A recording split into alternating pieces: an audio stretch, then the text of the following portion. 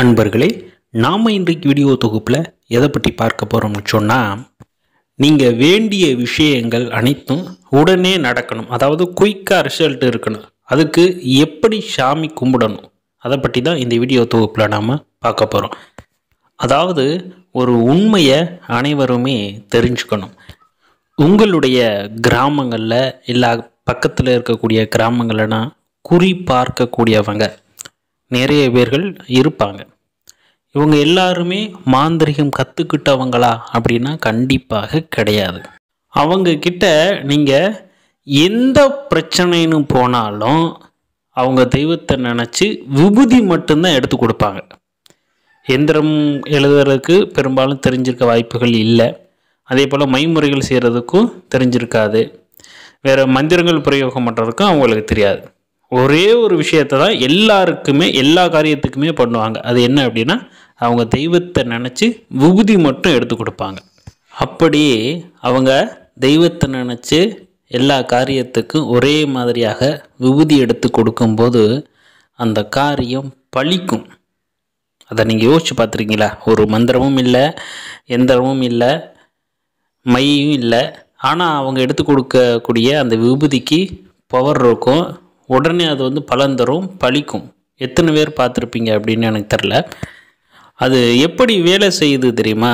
தெய்வத்தோடைய சக்தியால் எல்லாமே வேலை செய்யலை. எல்லாருக்குமே தெய்வத்துடைய சக்தியால் வேலை செய்யாது. அந்த தெய்வத்து மேலே வைக்கிறாங்களே அந்த நம்பிக்கை சரிங்களா? நான் ஊதி எடுத்து கொடுக்குறேன் சரியாக போயிடும் அப்படின்னு அந்த நம்பி தான் கொடுப்பாங்க. என்றைக்குமே நம்பலை அப்படின்னா அது வேலையே செய்யாது. அவங்க எந்த அளவுக்கு நம்பி அந்த ஊதியை எடுத்து கொடுக்குறாங்களோ அப்படியே பழிக்கும்.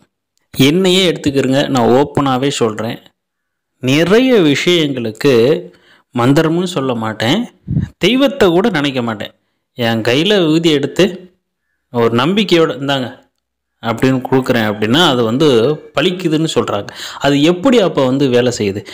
ஏன்னா மற்றவங்க வந்து ஏதோ மந்திரம் சொல்லலாம் தெய்வத்தை தெய்வ சக்தியோடு கொடுக்குறாங்க அப்படின்னு சொல்லலாம். நானே பிரயோகம் பண்ணியிருக்கேன். தெய்வத்தையே நினைக்காம மந்திரமும் சொல்லாமல் எந்த விதமான எந்திரமும் சொல்லாமல் ஒரு விபூதி எடுத்து இந்தா கொண்டு போங்க பழிக்கும். அப்படின்னு நான் கொடுத்து அது வந்து பழிக்குது அப்படின்னா அதுக்கு காரணம் என்ன அப்படின்னா அந்த நம்பிக்கை. இந்த நம்பிக்கை அப்படிங்கிறதான் மனதோட சக்தி அப்படின்னு சொல்கிறாங்க சித்தர்கள். அகத்தியர் இந்த மனசோட சக்தி பற்றி சொல்லியிருப்பாங்க பாடல்களை. நீங்கள் அகத்தியருடைய பாடல்கள்லாம் பார்த்தீங்க அப்படின்னா உங்களுக்கே புரியும். அதாவது நம்முடைய மனசில் எதை ஆணித்தரமாக நம்ம நம்புகிறோமோ அந்த விஷயம் கண்டிப்பாக நூறு சதவீதம் நடக்கும். அதில் எந்த விதமான மாற்றமே இல்லை. இதுலேயும் ஒரு படி மேலே போய் உங்களுடைய மனதுடைய சக்தியை பயன்படுத்தி ஒரு பொருளை மறைஞ்சு போகணும்னு நீங்கள் நினச்சிங்க அப்படின்னா அந்த பொருள் மறைஞ்சு போகும். சரிங்களா? இதை வந்து வெளிநாடுகள்லாம் செஞ்சு பார்த்துருக்காங்க. நிரூபிக்கப்பட்ட ஒரு உண்மை. சரிங்களா? உங்கள் மனதோடைய சக்தியைப்படி ஒரு பொருள் மறைஞ்சிருச்சு அப்படின்னு முழுமையாக நம்புனீங்க அப்படின்னா அந்த பொருள் தானாகவே மறையும். இதில் இன்னொரு விஷயத்தை நான் சொல்கிறேன் அந்த மனதோடைய சக்தியை பயன்படுத்திய சித்தர்கள் ஒரு இடத்துல இருந்து இன்னொரு இடத்துக்கு மறைஞ்சு போயிருப்பதாக சுவடிகளில் சொல்லப்பட்டிருக்கு. இது எத்தனை பேருக்கு தெரியும் அப்படின்னு தெரியல. அது மட்டும் இல்லாமல் இந்த மனதுடைய சக்தியை வச்சு அஷ்டமா சித்துகளையுமே பெற முடியும் அப்படின்னு சித்தர்கள் சொல்லியிருக்காங்க. நாம் அதை வந்து சரியாக பயன்படுத்துறது கிடையாது நம்முடைய மனதுடைய சக்தியை. கோவில் பூசாரிங்க அந்த தெய்வத்து மேல் வைக்கிறாங்களே அந்த நம்பிக்கையில் அது வேலை செய்யுது. ஆனால் அது அவங்களுக்கு வந்து தெய்வத்தோட அனுக்கிரகத்தினால தான் வேலை செய்யும். அப்படின்னு நினச்சிட்டு இருக்காங்க இவ்வளவு ஏன் உங்களுடைய மனதுடைய சக்தியை நீங்கள் பயன்படுத்தினீங்க அப்படின்னா ஒரு மெழுகுதிரி எரிஞ்சுக்கிட்டு இருக்கு அப்படின்னா அந்த மெழுகுதிரி அணையணும் அணைஞ்சு போகணும்னு நீங்கள் நினச்சி அதை பார்த்தீங்க அப்படின்னாலே அந்த மெழுகுதிரி வந்து அணைஞ்சு போகும். நீங்கள் எந்த அளவுக்கு அந்த நம்பிக்கைங்கிற மனதோட சக்தியை நீங்கள் பயன்படுத்துகிறீங்களோ அந்த அளவுக்கு அது வந்து வேலை செய்யும். இதை ஏன்டா அவ்வளவு நேரம் சொல்கிற அப்படின்னா இதுதான் கான்செப்ட் நீங்கள் ஒரு விஷயம் நடக்கணும் அப்படின்னா அந்த விஷயம் நடந்துருச்சு. ஒரு நடந்து அந்த விஷயம் நடந்துருச்சு அப்படின்னா உங்களுக்கு எந்த அளவுக்கு ஒரு சந்தோஷம் ஒரு நம்பிக்கை இருக்கும்? அந்த நம்பிக்கையை அந்த விஷயம் நடக்கிறதுக்கு முன்னாடியே அந்த விஷயத்து மேலே வச்சு நீங்கள் வேண்டிக்கிட்டீங்க அப்படின்னா உடனே நடக்கும். அதாவது நான் இது போல் எனக்கு ஒரு அரசு வேலை கிடைக்கணும் அப்படின்னா முழுமையாக நம்புங்க. எனக்கு கண்டிப்பாக கிடைச்சிரும்பா. அப்படின்னு முழுமையாக எந்த அளவுக்கு நம்ப முடியுமோ அந்த அளவுக்கு நம்புங்க. கண்டிப்பாக அது வந்து நடக்கும் ஆனால் நிறைய பேர்கள் என்ன பண்ணுவோம் அப்படின்னா முயற்சி பண்ணுறேன் கிடைக்கல முயற்சி பண்ணுறேன் அந்த பாதி நம்பிக்கை பாதி நம்பிக்கை இல்லாதது. அப்படி இருக்கும்போது நமக்கு அந்த யோகம் வாய்ப்புகள் அமைஞ்சால் மட்டும்தான் கிடைக்கும் எந்த ஒரு விஷயமுமே.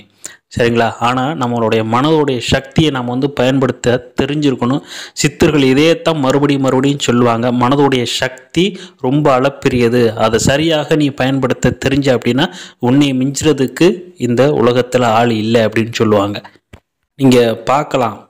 ஒரு சில பேர் அந்த மனதோடைய சக்தியை வச்சு ஒரு சில பொருட்களை அசைப்பாங்க. ஒரு பொருளை காற்றுல பறக்க வைப்பாங்க. ஒரு சில பொருட்களை அசைச்சு காட்டுவாங்க. ஒரு சில பொருட்களை வளைச்சு காட்டுவாங்க. புரியுதுங்களா உங்களுக்கு? எல்லாமே அந்த மனதுடைய சக்தி. அந்த மனசில் அவங்க முழுமையாக ஆணித்தரமாக நம்புனாங்க அப்படின்னா அந்த விஷயம் நடக்கும். அது அப்படியே நம்ம நினைக்கிற விஷயங்கள் வேண்டுதல்கள் நடக்கிறதுக்கு நம்ம அதை பயன்படுத்தணும். இதை வந்து எந்த நேரத்தில் அந்த வேண்டுதல்கள் செய்யணும் தெரியுமா? விடியற் காலையில் நம்ம தூங்கி எழுந்த உடனே நல்லா ஃப்ரெஷ்ஷாக இருப்போம். சரிங்களா? அந்த நேரத்தில் இது மாதிரி வேண்டுதல்களை நினைக்கணும் வேண்டுதல்களை வைக்கணும். சரிங்களா? இன்னொரு வேறு எப்போ இது பண்ணலாம் அப்படின்னா தீபம் ஏற்றி வச்சுட்டு அந்த தீப ஒளியை பார்த்து வேண்டிக்கணும். இல்லை அப்படின்னா கற்பூரம் ஒன்று ஏற்றி வச்சுட்டு அந்த கற்பூரத்தை பார்த்து நம்ம வேண்டுதல்கள் செஞ்சோம் அப்படின்னாலும் குயிக்காக ரிசல்ட் கிடைக்கும். எப்போதுமே சாப்பிட்ட உடனே வேண்டாதீங்க. இதாகாது. கொஞ்சம் எங்கேயாவது வேலைக்கு போயிட்டு மனசு படபடப்பாக இருக்கும்போது பல சிந்தனைகள் உங்கள் மனசில் ஓடும்போது ஒரு விஷயத்த வேண்டிக்கிட்டீங்க அப்படின்னா அந்த விஷயம் கண்டிப்பாக நடக்காது. ஏன்னா உங்களுடைய அந்த மனசுங்கிறது ஒரு நிலையில் இருக்காது. அப்போ பலவிதமான சிந்தனைகளில் இருக்கும். அப்போ நீங்கள் அந்த விஷயத்தை வேண்டுனீங்க அப்படின்னா கண்டிப்பாக நடக்காது. நீங்கள் தெய்வ கோவிலே போய் வேண்டுனாலும் அது வந்து நடக்காது. அப்போ விடியற் காலையில் உங்கள் மனசு ரொம்ப ஃப்ரெஷ்ஷாக இருக்கும். எந்த விதமான சிந்தனையும் பெருசாக இருக்காது. அந்த நேரத்தில் எனக்கு இது போல் ஒரு விஷயம் நடக்கணும் அப்படின்னு மனம் மாற அதை வந்து வேண்டி முழுசாக நம்புனீங்க அப்படின்னா கண்டிப்பாக அந்த விஷயம் நூறு தடப்பு நடக்கும்.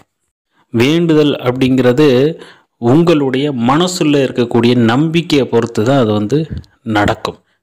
சில பேர் என்ன பண்ணுவாங்க ஏதோ ஒரு கோவிலில் போய் வேண்டுதல்கள் வைப்பாங்க. அவங்க முழுமையாக இந்த கோவிலை நான் வேண்டுதல் வச்சுட்டேன்பா எனக்கு முழுமையாக நடக்கும் அப்படின்னு நம்பிடுவாங்க புரியுதுங்களா? நான் போய் இந்த கோவிலில் வேண்டுதல் வச்சுட்டேன். எனக்கு முழுமையாக நடக்குன்னு நம்பிடுவாங்க கண்டிப்பாக அந்த காரியம் நடக்கும். நீங்கள் பாருங்கள் அது உங்கள் வாழ்க்கையிலே நடந்திருக்கும். புரியுதுங்களா உங்களுக்கு? அதாவது எல்லாரும் சொல்லுவாங்க இந்த கோயிலில் போய் நீ வேண்டுதல் வச்சினா உடனே நடக்கும் அப்படின்னு சொல்லுவாங்க. நீங்களும் அந்த கோயிலில் போய் வேண்டுதல் வைப்பீங்க. அப்போ இந்த கோயிலில் வேண்டுதல் வச்சா எல்லாம் நடந்துரும் சொல்கிறாங்களே அப்போ நம்ம வேண்டுதல் வச்சா நடக்குமே அப்படின்னு சொல்லிட்டு நீங்கள் போய் அஞ்சு வேண்டுதல் வைப்பீங்க. அப்போ என்ன நீங்கள் முழுசாக நம்பி நான் இங்கே கொண்டு போய் வேண்டுதல் வச்சுட்டா நடந்துரும் அப்படின்னு முழுமையாக நம்பிடுவீங்க அதனால் கண்டிப்பாக அந்த விஷயம் நடக்கும்.